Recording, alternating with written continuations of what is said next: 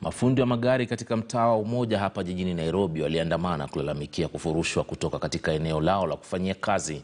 Jamaa hao zaidi ya sabini wanasema wamekuwa wakifanyia kazi sehemu hiyo kwa muda mrefu na sasa hatua kuwaondoa inahatarisha kazi zao. Wanamlaumu mwakilishi wadi Joseph Ouma Ndonji kwa madai ya kutaka kujenga hospitali katika kipande hicho cha ardhi. Inasemekana Ndonji kwa ushirikiano wa shirika la NMS wamepanga kujenga hospitali itakayosaidia hospitali ya Mama Lucy. Ujipange, ujue mahala ambapo utakapoenda, ujisitiri kwa saizi, alafu ukishapata sehemu ya kwenda unaondoka, unaenda kwa amani. Lakini vijana wamepigwa kwa saizi. Ochieng kaekwa kwa buti, hatujui yuko wapi, yuko wapi. Containers ni za nini? Ni za nini? Kani hospitali inajengwa, mlianza na container kwanza. Three, eh?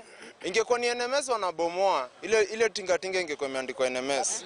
Na hizo lori zingekuwa zimeandikwa NMS. Wapi? Ziko wapi? Plates hakuna. Mimi by the way hata sijui MCA, sijai muona ha? Ungekuja uongee na sisi kama vijana, utuelekeze, utuambie hivi na hivi na hivi, niko na project.